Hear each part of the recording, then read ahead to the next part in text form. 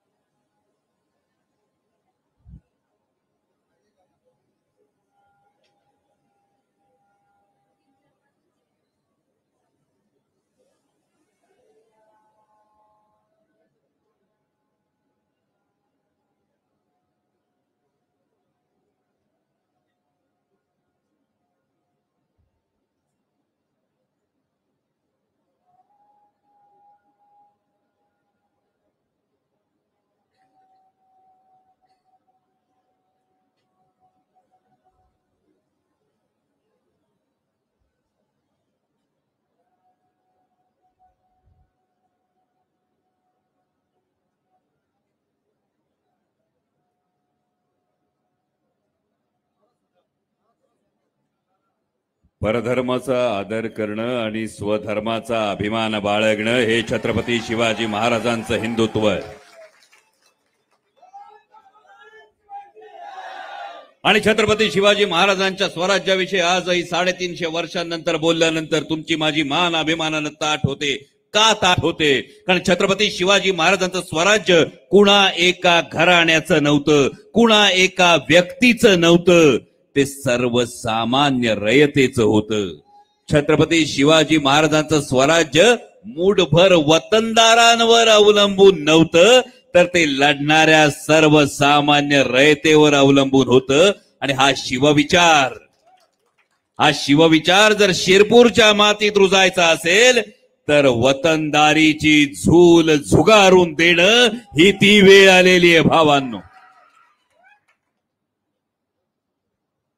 कारण ज्या सरकारसाठी ज्या महायुती सरकारविषयी आता रोहिणीताई सुद्धा बोलल्या माझ्या मतदारसंघातला आता खरं तर मी आज खानदेशच्या दौऱ्यावर पण माझ्या मतदारसंघातली गोष्ट सांगतो.